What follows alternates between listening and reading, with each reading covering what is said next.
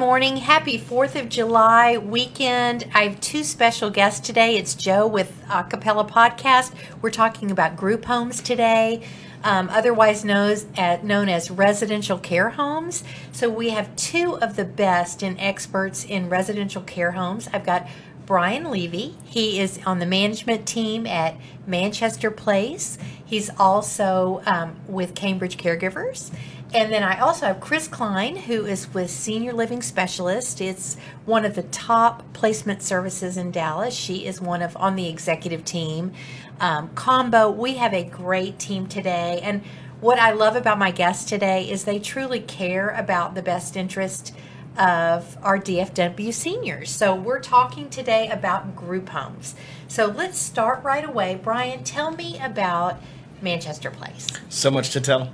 Uh, Manchester Place started um, 11 years ago. We have four boutique assisted living care homes that are custom purpose built. So a lot of homes in Dallas have been converted with Jack and Jill bathrooms. We built our homes from ground up. So the homes actually look like just a mansion in a neighborhood, but when you get inside, there's eight private suites with bedroom bathroom attached. So eight master bedrooms in a big house. Mm-hmm. Um, two full time CNA caregivers on duty 24 7. So it's a 24 hour operation. And you do have new nurse supervision. We have a nurse on staff, we have a doctor on staff, and we have a director of life enrichment on staff who does one on one activities with the residents. And that's wonderful. That's something that is very unique and a great selling point. And I have been to your homes many times, and they are incredible. The care is wonderful. Um, I also have Chris Klein, and Chris is you work with uh, Manchester Place, you are placing um, clients that are interested in group homes, assisted livings. So tell me, let's talk just when you're looking for a group home. Um, tell me how you fit in. How do you guys work together? Well, a lot of times um, when a loved one is being discharged from the hospital, from rehab, or a family has been searching online and they're trying to find help, they're trying to find answers, so they come to us or they get referred to us as senior living specialists. And we do a full discovery with the family to really work with them and develop a relationship to help determine their best needs based on care, based on geographic location and budget. And of course, we work with Manchester Place. They're one of our top homes. It's an incredible organization. I've been in the homes, they're beautiful. I've seen the ensuite bathrooms, and it's just, it's a really, really great group to work with. So when we are helping the family, since our team has been in the communities and been in these homes, we can paint that picture with them and really get them um, to trust the process. Um, so it's we do have a really strong relationship with all of the partners that we have across the Metroplex. Well, I want to talk about. I know people have their loved ones that they need to find care for them. They cannot either they cannot afford round the clock care or they just can't do it. They've got adult children, they've got their parents, um, and they, it's that sandwich generation. And, you know, I have this conversation so many times. Nobody says, when I turn 80, if I have dementia, please put right. me in a nursing home. Right. I think I've done that by now. Uh, yeah, yeah, yeah. we got that plan in place. yeah, so you want to have the conversation. What nobody wants to go to a nursing home. Let's right. face it, nobody does. We all have that image of the nursing home. I, I was a candy striper when I was in high school, wow. and um, it, at church, you know, my family. Um, we would go visit nursing homes on Sundays. And so I, I, always had this. I'll bet half of your audience doesn't know what a candy striper is. Yeah, I, love, I love that they have you, I do uh, too, your, yeah. your uniform is up in the office. Oh, yeah, really? we do. And I learned a lot just really young sure. about the importance of just being there and yeah. being present and listening and talking and singing. And um, I loved being a candy striper. But, um, but anyway, um, looking for a group home. And I want to use my own example. Um, I shared with you guys my dad uh, was 86, never saved a dime. I'm very open about my situation with my dad. Wonderful guy, but just never good with money. Um, we were in a situation we had to put him somewhere fast. He was at my house for, for three weeks, ordered me around like I was. 12 years old. I was the help. and then went to my sister's, and within three days, she's like, I cannot do that. This, he'd wake us up all hours of the night, got a day, his days and nights mixed up, uh, wanted a glass of wine at two in the morning, can't get this bottle open, on and on. So we found, uh, we were pressed. We, siblings all put money in together and needed to find something. So it was a social worker that recommended this group home to us. We moved my dad in. It looked great on the surface, on the outside. People were pleasant. Um, it was not licensed, but it was supposedly, you know, I, we got a good rep- recommendation from a social worker. So I assume it's going to be okay. Um, next thing we know, uh, they have sold my father's social security number. Uh, he is, doctors are being charged. He's been put on hospice and not appropriate for hospice. Um, the list goes on and on. So, uh, looking back, and here I am, a healthcare professional, and I was duped. My sister's a healthcare professional, she's an RN. So, just having the value in hindsight, had I worked with senior living specialist. had I made calls to you, Brian, and said, you know what, I would love my dad to be at Manchester Place, but we just can't afford that. What, who would you recommend? So, right. Yeah. So, had so many resources available There- that you shouldn't go in blind anywhere. I mean, no, so- and yeah. I did, and I just assumed. So I'm I'm one that, you know, I'm preaching to the choir. We should have done our homework, even Right. if it meant, you know, dad is discharging from the hospital. You got two days, and you got to figure it out. Mm-hmm. So tell me, Chris. I know they're licensed group homes like Manchester Place. There are a lot of licensed, but they're also unlicensed. And how how do what is the criteria unlicensed versus licensed? And I know there are some good unlicensed group homes. If we can talk about that.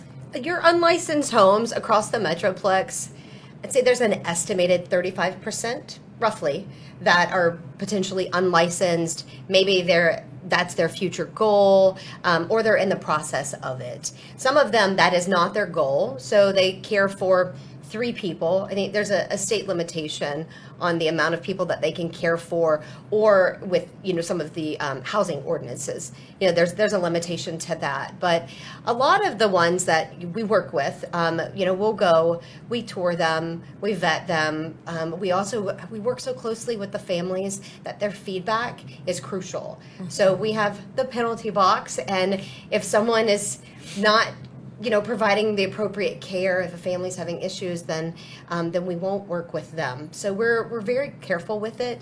And to to the social worker that had referred the home to you, they're really limited. Their caseload and everything is so heavy that it's not really their fault. So we work really hard to keep those relationships with the social workers so that they know that they can rely on us and trust us. And we have two full time social workers as well on our team. Um, so we really try to take the most ethical approach to do the best thing for the family based on their needs. And licensed or unlicensed, um, the licensed ones are amazing. They can still mess up. No one's perfect. Um, but the licensed homes are great for long term care insurance policies and for really following all those state regulations like the larger communities. You know, we definitely try to stick with them um, whenever possible. they vet their clients so thoroughly that by the time they get to us, it's almost an automatic move in. They know their care plan, they know their budget, they know our skill set, and they know the needs of this prospect, and they know exactly where they need to be.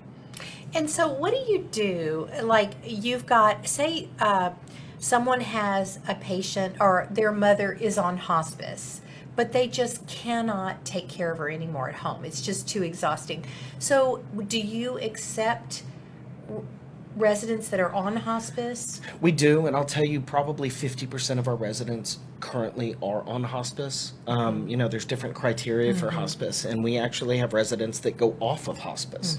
Um, we are not, by, by any stretch of the imagination, respite care, uh, but we do cater to very high acuity residents that have very, very high, high, care needs. Um, you know, we have a triplegic resident, we have nonverbal residents, um, very high care needs. So let me ask you this. So I know you have these homes. You've had y'all have had them for a long time. What is the longest time length of stay you've had with a resident? Wow, great question. Um, I don't even know if I can. I shouldn't say her name. She was so sweet. She um she was with us about ten years. Wow. Yeah, and we still have our first employee, Erin, who's director of life enrichment, was our first. So she's been there eleven years now. Wow. Yeah. Wow. Um, so this one particular lady, she lived in um, in our Spring Valley location from the beginning, and she was she was she was a staple. she was the mayor. Well, you know, when I was a hospice nurse many years ago, there were only a few group homes that I knew of, and I always thought, "Oh, I want to do this. I think I would love to have a residential care home." I tried it. You know, I love private duty; it's my thing, but re- group homes are hard. I often have people say, "Oh my gosh, that's so cool!" My friends in San Antonio, I want to open one of these. What's your best advice? I'm like, "Don't do it. I know. Don't do it." Um, on a personal note, you were asking about residents. My grandmother was one of the first residents at Manchester. Wow. Before I knew the owners, um, our kids are friends. That's kind of how we know each other. But my grandmother, I, I mean, for four years, I spent a lot of time in that house at St. Michael's. So let me ask you, how are you handling COVID and family members wanting to see their loved ones? Is this on? Where do I begin? Go ahead. You start first. Oh goodness, that's the million dollar question. Yeah. Can we tour? Can we go see them? And we're finding, you know, we work with we work with everyone. We love the big communities. They're great partners with us. Um, it has seemed lately, and I went back and looked at some of the families that I've helped over the last few months, just myself, and there's been quite a trend with working with more of the residential care home settings um, due to the ability to for the infection control procedures. Um, I think everyone has their protocols, and the state has also, you know, and the CDC guidelines have also given mandates for those licensed facilities as well. Um, but the great thing is that those smaller environments have been able to really do a good, an outstanding job um, on infection control and work really closely and customize all of the interaction with the families. It's been quite a blessing. knock on wood, COVID free. Um, Dr. Newcomer, our staff doctor, and um, our staff uh, director of nursing, uh, Cindy Greenberg, have locked up our homes. They won't let the owners in. They won't let me in. No vendors, no hospice, no home health. They're doing it all. Wow. So um, kudos to them. Sandy is is, round the clock. I mean, she's done everything from comfort care, doing teledoc with hospice companies to end of life to doing it all. Wow. It's remarkable. Wow, um, but you know, you got to scramble, and and, it- and it hit fast. You know, um, but um, like like Chris said, we're not doing tours right now. You know, I mean that's kind of what the internet's for. So um, Sandy was at one of the houses the other day, and I get and she did a FaceTime tour with the family, um, which isn't uncommon because we have families that live not just out of state but out of country. So we're used to dealing with families on a technical basis in terms of FaceTime and stuff. This is just a different level. so you We- are moving people in right now. as of what's today, two weeks ago, yesterday, we just started entertaining the idea of case by case basis. I mean, the criteria is real high, but yes, we will we will um, consider move-ins right now. Well, and that's where we work together because Cambridge Caregivers, I know, Brian, you and I have been friends, and when I have a question on a regulation or just something going on in the community, or I can't staff, or uh, you're a great resource. But that's the beauty of this community, and it is a business, but at the end of the day, it's a community. And when you can work that closely with friendly competitors, which I'm friends with other care home owners, other PAS company owners. I mean, this is.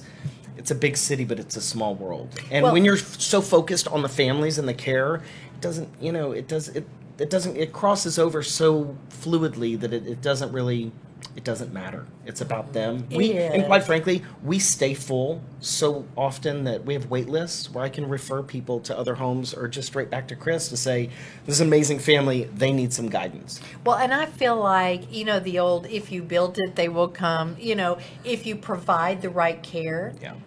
you're gonna get referrals. It's, it's word of mouth, but if you do the right thing, and we have a lot of uh, patients right now leaving the hospital. They don't want to go to rehab. They want to go home. So we're getting a big demand for private nurses, and um, that's a good alternative is private caregivers like Cambridge, Acapella, um, while we're in that transition. It is in its transition, and I can't tell you how many how many calls I get a day from people, you know, converting their living room or their dining room into mom's room for a month, or somebody rented a condo the other day for us to have caregivers go in that condo with mom in between. So people are getting creative, and you know, fortunately, some people have more money than others, and so they can do those things. Um, but there is this discharge um, now what feeling of um, mom's coming home where's she going so we're just very very cautious Well, and we just have to be adaptable too. You know, nobody planned for COVID to hit, nobody planned for a pandemic. And I will say, you know, hats off to the senior community. You guys, you know, we're all doing the best we can and working hard. And uh, it's really about those seniors and keeping them healthy. For, absolutely and there's no playbook i mean no one said oh turn to chapter 17 this is where this fits No. in we're you know we're making it up as we go and i'm fortunate that we have a doctor on staff who's on staff at ut southwestern and their their plans are very thorough so we're Well- up to date on all of the the do's and don'ts Okay, and I want to get back to licensed versus non licensed. Mm-hmm. And in private duty, we have surveyors and we have somebody that may just show up in our office. They say, give us a list of patients, and That's we're- so. That's such a nice term. We call them auditors. you call them what you want, but here's our file No, cabinet. I so call them sir. I'm a nurse. Yes, exactly. No, this uh, that's an audit. So, do group homes have those auditors or Oh. surveyors? Do they just show up at the door, or do they make an appointment? An appointment. I'm so sure you're kidding. This is the appointment. It's fire marshal. It's ombudsman's. It's uh, we have a whole list of checks and balances. Yeah. Okay, so with with your larger homes, with your higher census, um, I know there was something I learned when I was interested in, in a group home was making sure you could get everybody out. Uh, yeah, an evacuation plan. Yeah, kind of So- like the fire drill at school. Exactly. So, what do you do? Not just, I mean, do you have a plan? If there's a fire, you can get your residents out. So our St. Michael's location, three doors down, is gone from the tornado. So imagine, yeah, three doors. Um, so we are Type B small, is what our license is is under Type B small, and um, I you know didn't know this until you know it, but that means the residents cannot self evacuate. Hence, two full time on duty, mm-hmm. four seven awake. Mm-hmm. Some care homes have one on duty at night or one on duty at night asleep, just in case. I mean, you know, every everybody does it differently. I mm-hmm. know ours are awake, and that's the, one of the main purposes. Yeah, because you want to be able to get them out. Well, in the tornado, we had a patient, a private duty patient, that passed away. Um, he was right in that area in his own home. Passed away. Funeral home came. Family left. An hour later, his house was demolished. Demolished completely right at Royal and Preston area. It was Yeah. very scary. We were so fortunate that we did lives were not spared. You know, a No, we- lot of Knock destruction. on wood. I mean, we're so fortunate, and we're also fortunate. All of our homes have backup generators. Yeah. So we're the only one in that neighborhood with power for a long, long time. So, okay, we're going to go to Chris. So, Chris, you've got a family that has very little resources. Mm-hmm. They say, Chris, my dad has fifteen hundred a month for through Social Security. I'm going to pitch in five hundred a month.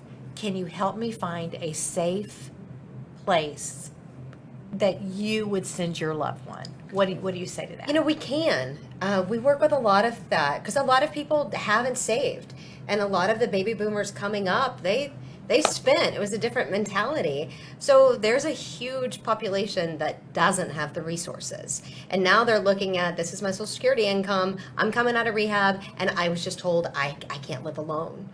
Um, so we do have several options. They're not always, say, in the metro Dallas area, um, but they're in the surrounding areas. Um, but we do have several options that are even kind of starting under 2000 but you get 24-7 care medication management you know we can get them to a quality a quality home to get good care, and that would keep them out of having to go into a Medicaid potential bed in a nursing home if they were to qualify for that medically. Right. Because they also have to meet medical necessity for that, and not everyone does. Um, so, educating the families on what's available in that crunch time, that crisis time, um, is is really important on our end, so that they feel comfortable with the direction that we're able to send Well, them. and, and clarify too, Medicare does not pay for custodial care. It does not pay for a group home. It does not pay for assisted living. And Joe, there is. I was looking. Um, you know, we contract with more options than any other placement firm does around the Metroplex, and I was looking in our system. At less than five percent of the private care homes are Medicaid accessible that they'll accept it. Less than five percent. So when telling a family, a lot of them, it's their first rodeo. It's their first experience. Their heads are exploding with information, and they thought that well, they have Medicare or they have Medicaid. Um, that's going to pay for it, right? There's insurance. So telling them that no, living that's living expense, and that living expense isn't going to get paid for by insurance unless you have a long-term care policy. Um, so educating them on that in that sticker shock and kind of going through. I mean, the the options are limited, and Medicare doesn't pay for for living. You mentioned long-term care policy. We have a resident who's been with us over well over a year now, and the son and they've been you know the son recently found their long-term care insurance policy, oh, and they're wow. gonna back pay him for. oh, that's that's so great. you know it is not uncommon for a spouse to not even know that the other spouse purchased it and kept it in a drawer. wow. So found money. if everybody had those Right. policies, it would be just long-term such care simpler insurance world. is like found money and when it works it works but mm-hmm. you've got it it's almost like you need a manager just to stay on it you know what it's like working with them mm-hmm. And it would have to be licensed. Mm-hmm. So the long term oh yeah care the, policy, the, the some home of has the, to be yeah their, some of the their older credentials they actually say nursing home They do, yeah. the, the the language is so old. There wasn't a care home back in 1940 or whatever. That that- yeah, Yeah. the policies are really written, and and it's a little bit of elder abuse when the elder person tries to go claim, and and, and it's like the fax machine goes straight to the trash can.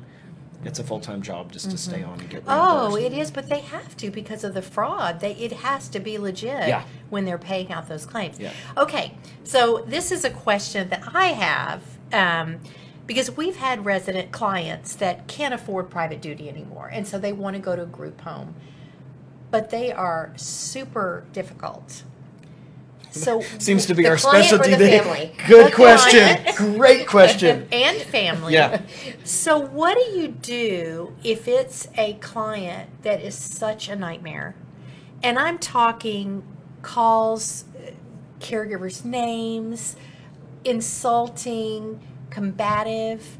You know, what do you do about that client? Is there are there some that you just can't help or just honestly, what what is a family member to do if their dad is just a nightmare? I mean, we're It would just going to say a, it. a noticeable amount of those situations. Mm-hmm. And working with the family, I've had families not share those details, and their loved one gets moved right back out because they're not a fit. But when they do share those details, then we have the ability to be upfront with the homes that we're working with and say, before we send their information and get that going, can this be a fit for your clients and your families that are in that house? For the other families that you're working with this is what we're looking at. We we have to have those really difficult conversations up front and we do try to dig to get as much of that information as possible there are options and there are um, communities and there are care homes that are more geared towards some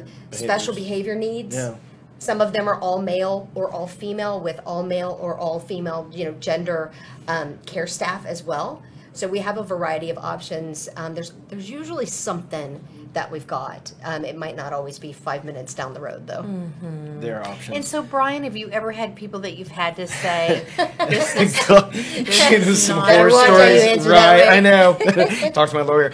Um, I, well, Chris, Without it's funny. mentioning Chris and I were names. just talking about this earlier. You vet the families as much as you do the prospect, most definitely"? and you know half the battle is just working with families. There are a lot of helicopter kids, and we know they love their parents, and we love their parents too. But you know, just because the drawer was left open or we forgot to brush mom's hair, it doesn't mean we don't love her and don't care about her. But just because you saw that on the camera once, it's not a common thing. Um, but we we try to vet the families.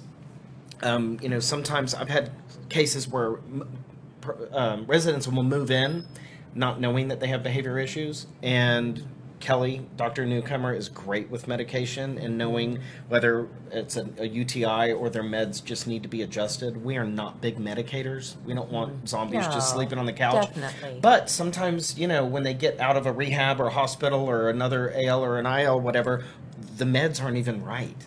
They haven't seen a doctor in so long. And so we work with, I mean, you know, having eight residents in each home, we have the ability to slow down and deal with each family one on one. We do a lot of care plan meetings, like every couple of months as care plans change. Um, but yes, families and residents. I know it's a it's a, a dual thing. Us too, and you know we we try to explain. Sometimes I'll say to families that we just cannot meet their needs, and I'll just say, you know what, I am so very sorry, but I don't think acapella is the right fit for you. And like us, we are guests in people's homes, but people are guests in your homes too. And so you would think they would be, you know, some families would be a little bit more appreciative and, you know, wanting to give, give, give, and thank you so much and thank you so much. But, you know, they're losing control. And, you know, we meet them where they are. Mm-hmm. You know, I know. So we have had in in the history of Manchester, we have um, had to evict one resident and it was heartbreaking because this gentleman was i'm telling you he was he was a good man mm-hmm. but the family impeded our ability to care mm-hmm. for him mm-hmm. so it became a you know a, a, license issue where we just we couldn't couldn't do it we tried and tried and tried uh, we didn't just evict him immediately but it got to that point and it was sad and we all cried but we still have to do our job. Mm-hmm. So, I know. Yeah. Well, thank you. So, if people want to get have information, Chris, how can we reach you? Um, well, my I'm pretty visible, but the senior living um, specialist website, so seniorlivingspecialist.com, has an about tab, and our whole team is on there. So you can read the bios of social workers, all of our contact information. Um, my cell phone is 972 551 9369. Mm-hmm. Um, so uh, text, call, um, we're pretty easy to find. Um, and I know that, you know, we've always been a big supporter of care homes. I know that our owner and founder, um, Paul Markowitz, mm-hmm. when he founded the company 12 years ago for his own mother, um, actually, she lived in one of the care homes that we work with in Dallas for the last few years of her life. So we're big supporters um, as well, um, along with all of our big community partners, too, of course. Mm-hmm. But it's, but yeah. it's, sometimes it's just the right fit to be in a home. So, exactly. And it's the best fit. Yeah. And Brian, how can we reach you if we want more information on Chris Manchester? and I are we're probably the most accessible people in the industry. We're 24 7. So, uh, you're right, exactly.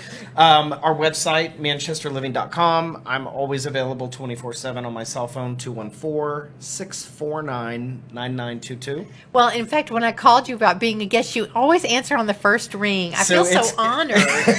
in his hand. You should be. It, it is. It's kind of a joke. People say I return text before they hit send, but my phone is always on me. But and you know what? We're like an ER. We're always open because we're well, there always needs. The people that call us are typically kid, adult kids of elder people, right?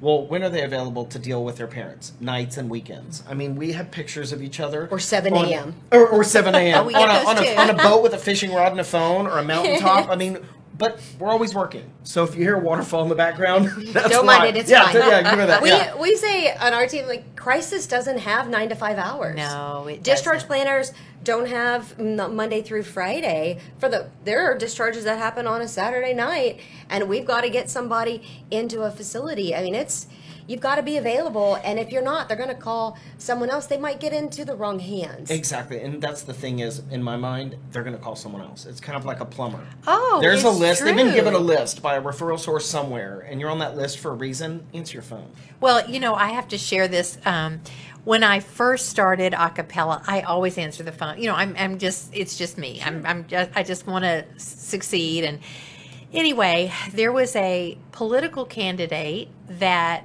has given millions of dollars to several of the hospitals in town. um, when he was discharging from the hospital, his daughter that he gave millions to, his daughter was given a list of agencies, and five o'clock on Friday, and we were the eighth on the list, and I was the only one that answered the phone. There you go. And so it just showed it was like 505 on a Friday. Yep. And I and that was a great great client for us. We took care of him for many years. You know, people always say, "Oh, I don't answer my phone if it's an unknown caller." Well, mm. that's our world. I- so I imagine know. every call Every gets number answered. is- every number is unknown. unknown. right. Well, and it stresses me out if I'm on the phone with a client and somebody's calling and I don't know who it is Oh, because then I'm sweats. like, okay, oh yeah, immediately. I'm like, I can end this call. Yeah, no, I want the next one. But this yeah, is I why want to you- help everybody. You're the best in the business. Well, so we love what we do. Yeah, and that that's the difference. And you can tell, you know, that you love what you do and you have passion and um, so I thank you so much. Y'all have been awesome guests. Thanks for having us. Thank you so much, And Joe. I want to do one more shout out. Um, you've both helped. We talked about the Medicaid nursing homes, and those people have so little. Um, we do have a, a pajama drive coming up for That's right. Grandparents Yes. Day, September the 13th. And I know both of your companies have helped with us with pajamas. And thank you so much. Um, if somebody wants to be able to help these people in need, just donating new pajamas is wonderful. It's a community effort that we do. And I've had calls from other states. People want to do the pajamas for seniors, which is so Yeah. exciting. We've got Girl Scouts involved and um, different organizations. So there's always a way to make a difference. You, Do you know, have a website or somewhere? we do. can- It's pajamasforseniors.org or info at pajamas for seniors. Um, And are you still doing drop off at your office? We're still doing We're drop still off. doing drop. You're I welcome usually to drop do them off. the, the Fort Worth location. Yeah, I'll and we do in Fort Worth too. So, um, if you if if you're listening to this and want to help and just hear the needs of these seniors, um, any of us are, are a great resource for those, and we'll get them into the right hands. Every pair of PJs Yeah. matters. Yeah, it does. drive. yeah, It yeah, does. It does. Does. So thank you so much. Have a great fourth. Thank you. Um, You be too. blessed and stay safe and stay healthy. We got So thank you so Thank much. Thank you so much. Yeah, we got it. Got 'em. Jarrell, Thanks, Joe. Thanks for having us.